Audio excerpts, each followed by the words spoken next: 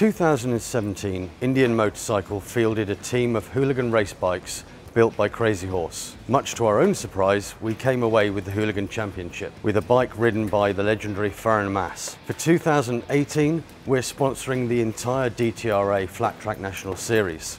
Back in February this year, we launched our sponsorship of the DTRA Flat Track Nationals at the MCN Motorcycle Show in London. We topped that off with a great DTRA party at the bike shed where everyone got their first look at the bikes and everyone got to meet the team.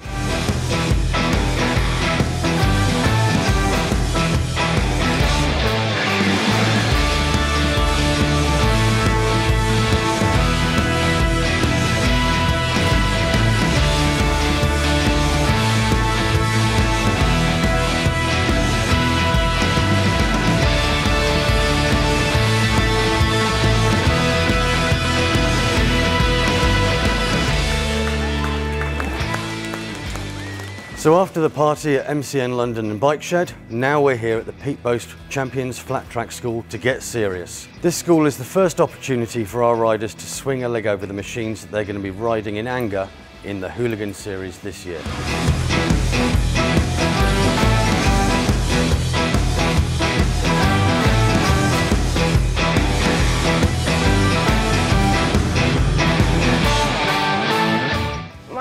Leah Toklov and I'm 20 years old and this year I'll be racing one of the Indian Scouts in the DTRA Hooligan Championship. My name's Jonathan Forkman, I'm from uh, Sweden. I got into riding motorcycles when I was four years old, so started doing motocross. When I turned 18 I was back into street bikes and got into the, the custom build scene and the choppers, that kind of thing. But I always had the love for the dirt and wanted back on it. My name's Chris Hatton uh, from South Wales. Been riding motorbikes since I was four years old. Went into motocross, then saw flat track. One of my friends got involved in flat track and it looked really appealing.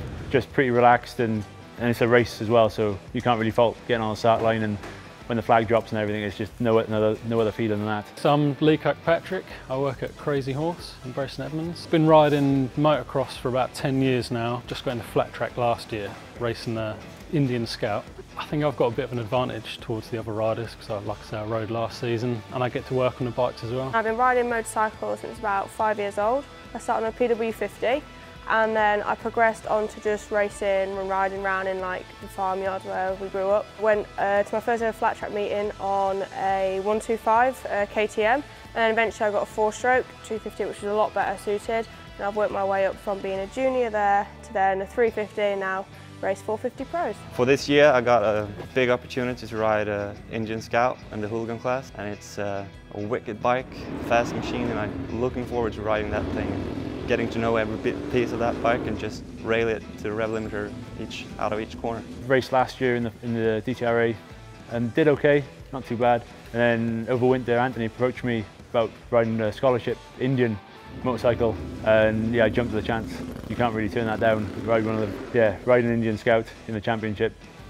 It's going to be a good year. I was I was overwhelmed when Anthony told me that I'd won the scholarship and that you know I could race on these bikes for the rest of the year, the whole season. You know, it's a big privilege to me, and I just can't wait for it. And you know, it'll be a challenge, obviously, but you know, if if it was so easy, then everyone would be doing it, wouldn't they?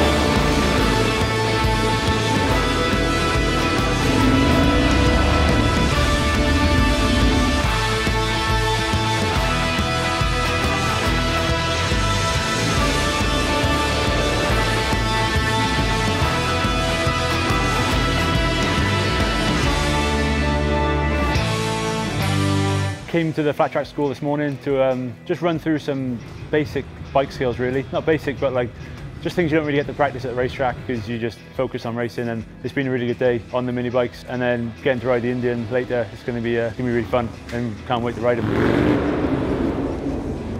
We've all had a great day here at the Pete Boast School and we've all learned something, even me. The next time you'll be seeing us will be on the 7th and 8th of April at Kings Lynn for the first round of the Hooligan Series. It's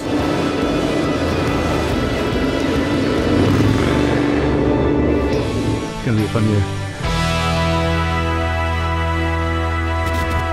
I'm the best one.